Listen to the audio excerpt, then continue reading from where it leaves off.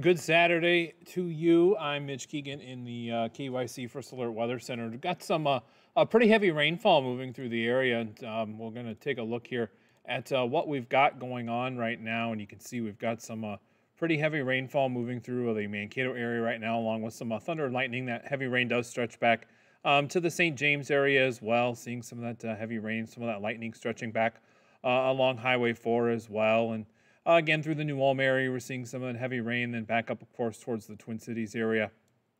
Uh, through Waseca, we're seeing some of that heavy rain, then back down towards the Albert Lea area. Uh, we do, uh, again, watching this uh, storm system as it uh, continues to move through the area, bringing these kind of off and on showers and embedded thunderstorms here from time to time.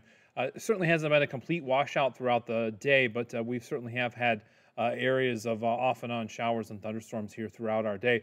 And as we take a look at the bigger picture across the region, you can kind of see that spin uh, in the uh, radar picture, uh, kind of uh, located right over Aberdeen, South Dakota. That's where the actual area of low pressure is.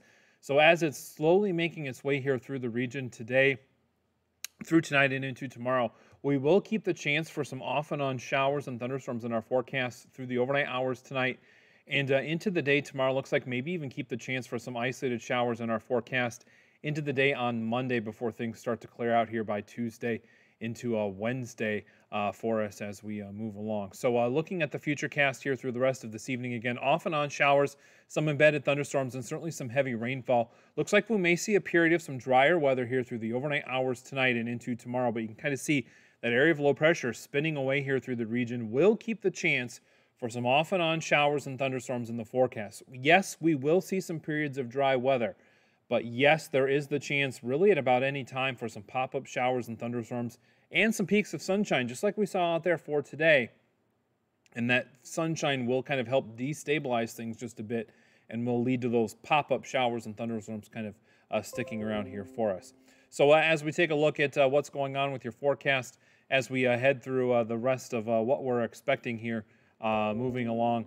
Uh, we are looking at, again, some those showers and thunderstorms here through the evening. Lows will drop back uh, into the upper 50s to right around 60 degrees. And looking at the extended forecast, again, keeping that chance for some those showers uh, right through the day on Monday with highs staying in the low 70s for your Sunday into Monday, staying in the low to mid 70s here through the rest of the week.